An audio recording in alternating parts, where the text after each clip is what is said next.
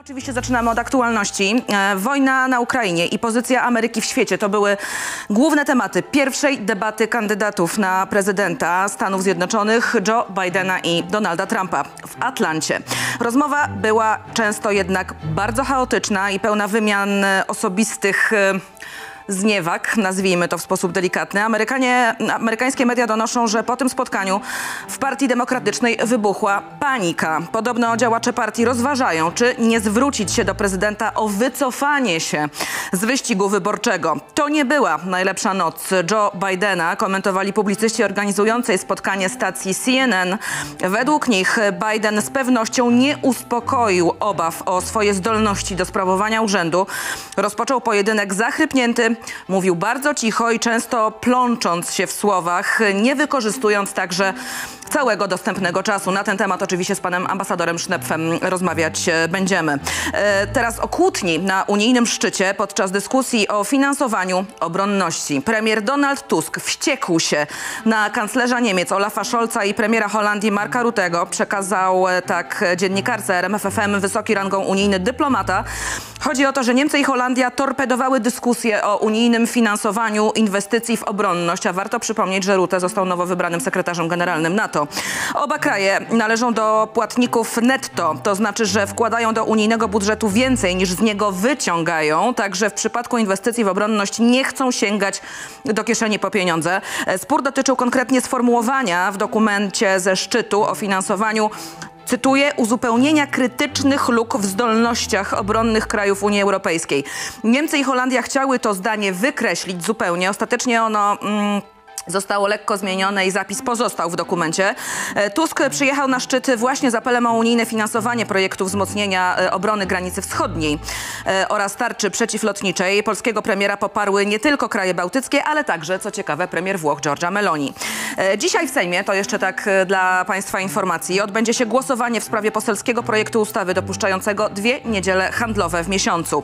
Projekt nowelizacji ustawy zakazującej handlu w niedzielę złożyli pod koniec marca bieżącego roku posłowie Polski 2050. E, Za pracę w niedzielę przysługiwałoby według nich podwójne wynagrodzenie, a pracodawca miałby obowiązek wyznaczyć pracownikowi dzień wolny od 6 dni przed do 6 dni po dniu pracy w niedzielę właśnie. 13 czerwca podczas debaty na posiedzeniu plenarnym kluby PiS i Lewicy, co ciekawe oczywiście, wniosły o odrzucenie tego projektu w pierwszym czytaniu. Kluby Koalicji Obywatelskiej PSL Trzeciej Drogi Polski 2053 Drogi i Konfederacji opowiedziały się za skierowaniem projektu do komisji. Dziś ostateczna decyzja w tej sprawie. To jest Ekspres Biedrzyckiej. Zaczynamy.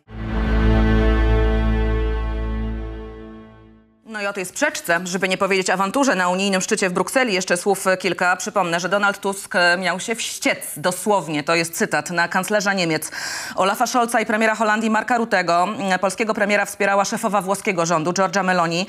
Niemcy i Holandia, raz jeszcze przypomnę, bo to jest bardzo ważne w kontekście naszego bezpieczeństwa, miały torpedować dyskusję o unijnym finansowaniu inwestycji w obronność właśnie. Spór dotyczył w szczególności sformułowania o uzupełnieniu krytycznych luk w zdolnościach obronnych krajów Unii Europejskiej. E, Polski premier na szczycie apelował o wsparcie wschodniej granicy Unii Europejskiej, czyli między innymi naszej granicy z Białorusią oraz tarczy przeciwlotniczej. Mm, e, Wiemy, że e, pani premier Włoch Giorgia Meloni wspierała Donalda Tuska i miała być tutaj, cytat, bardzo ostra w swoich sformułowaniach. Jak mówi wysoko, wysoki rangą unijny dyplomata, Donald Tusk wściekł się na kanclerza Niemiec i premiera Holandii w związku z ich podejściem.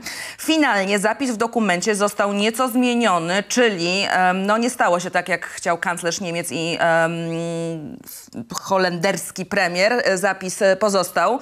Niemcy i Holandia, tak jak już Państwu mówiłam, to płatnicy netto i nie uśmiecha im się płacić więcej na obronność. No nie jest to, mm, delikatnie rzecz ujmując, dobry sygnał, ale mamy też także porozumienie na tym szczycie.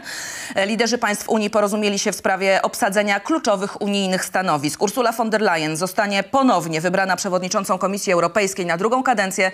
Szefem Rady Europejskiej będzie Antonio Costa, a szefową unijnej dyplomacji Kaja Kallas. Na posiedzeniu Rady nowych przywódców nie wybrano jednak jednomyślnie. Swój sprzeciw zgłosiła mm, premierka e, Włoch Giorgia Meloni, już dzisiaj przeze mnie wspominana. No i tutaj raczej nikogo nie zaskoczę. Szef węgierskiego rządu Viktor Orban. Mm, Meloni była przeciwna e, Koście, a Orban von der Leyen. Po, mm, głos po decyzjach na szczycie Unii zabrał premier Donald Tusk. Kaja, Urszula i Antonio zaakceptowani. Plany obronne zaakceptowane. Satysfakcja dla Polski i dla Europy. No czy aby na pewno satysfakcja i czy mamy do niej powody, o tym też za chwilę z panem ambasadorem porozmawiamy. Unia Europejska zawarła umowę o bezpieczeństwie z Ukrainą, drodzy państwo. Wczoraj w Brukseli podpisali ją prezydent Ukrainy Wołodymyr Zełenski oraz przewodnicząca Komisji Europejskiej Ursula von der Leyen i przewodniczący Rady Europejskiej Charles Michel. Zgodnie z treścią umowy Unia Europejska zobowiązuje się do zapewnienia Ukrainie i jej obywatelom wsparcia na wielu płaszczyznach. E, Obejmuje ono pomoc polityczną, finansową, gospodarczą, humanitarną, wojskową i dyplomatyczną. Jest także zobowiązanie do kontynuowania pomocy tak długo i tak intensywnie, jak to będzie konieczne, aby zapewnić stabilność i bezpieczeństwo Ukrainie. Ceremonia podpisania umowy odbyła się tuż przed rozpoczęciem szczytu unijnego, na którym uczestniczył, czy w którym uczestniczył także prezydent Zełenski. Jest także zapowiedź premiera Donalda Tuska, że Zełenski jeszcze przed szczytem NATO, który odbędzie się w lipcu, odwiedzi Warszawę. Także będziemy mieli tutaj wizytę ukraińskiego prezydenta. Premier Holandii, wspomniany przeze mnie, Mark Rutte został nowym sekretarzem generalnym NATO. To jeszcze Państwu przypomnę, bo w dzisiejszym kontekście, dzisiejszych rozmów to jest bardzo ważna informacja. Wybór właściwie był formalnością, mm, bo od kiedy z wyścigu wycofał się jego główny rywal, prezydent Rumunii, nie miał żadnego poważnego kontrkandydata. O tym, kim jest mm, Mark Rutte, za chwilę z panem ambasadorem też na pewno e, porozmawiamy. E, Dwa słowa aktualizacji sytuacji związanej ze związkami partnerskimi, drodzy Państwo. Projekt ustawy będzie rządowy, ale nie ma w nim przepisów o przysposobieniu i wyborze nazwiska. Związki partnerskie miałyby być zawierane formalnie w urzędach stanu cywilnego. Na uroczystość nie godzi się Polskie Stronnictwo Ludowe, które początkowo nie dopuszczało wizyt w urzędzie i chciało odesłać pary do notariusza. E, nie wiadomo, kiedy ten projekt ostatecznie trafi mm, do Sejmu, już gotowy. E, Maciej Berek, czyli mm, no, człowiek, który odpowiada za legislację e, przy Kancelarii Prezesa, e, Prezesa Rady Ministrów, mówi, że prawdopodobnie będzie to e, wrzesień. Tymczasem Polacy zabrali głos w, sondażu o związkach partnerskich. E, No i po raz kolejny, drodzy Państwo, e, jest tak, że większość badanych jest za ich mm, przeprowadzeniem, e, bo jest to 47%. E, Tak, e, w każdym wariancie, łącznie z przysposobieniem dziecka, partnera lub partner, partnerki, to jest właśnie 47%, tak, ale bez możliwości przysposobienia 15%, w żadnym wariancie 28%, nie wiem, trudno powiedzieć 9%. I jeszcze o kłopotach w klubie Lewicy, dwa słowa, bo no dość, e, trzeba powiedzieć, e, przedziwny mariaż wczoraj nam się objawił przy Wiejskiej, bowiem dwoje polityków z przeciwnych stron sceny politycznej postanowiło stworzyć wspólny, no i dość zaskakujący front. Uwaga, posłanka partii Razem, Pola Matysiak oraz poseł PiS Marcin Chorała łączą siły i zakładają ruch społeczny Tak dla rozwoju. Mm, Zadeklarowali, że chcą odłożyć na bok różnice światopoglądowe, historyczne i inne, aby zaangażować polityków różnych opcji, organizacje i obywateli w pracę nad kluczowym dla rozwoju Polski e, kluczowymi dla rozwoju Polski inwestycjami. Sprawy, jakimi mieliby się zająć, to budowa centralnego portu komunik- komunikacyjnego, elektrowni jądrowych, a także rozbudowa portów i rozwój Wojska Polskiego. Partia Razem odcięła się mm, od inicjatywy swojej posłanki. Mm, Założenie stowarzyszenia z panem Chorałą to prywatna inicjatywa mm, pani Pauliny Matysiak. Tak e, czytamy e, w komunikacie. Podjęta wbrew woli e, partii. Posłanka została zawieszona w prawach członka mm, Razem. I na koniec jeszcze jedna kró króciutka informacja o gigantycznej karze dla Prawa i Sprawiedliwości.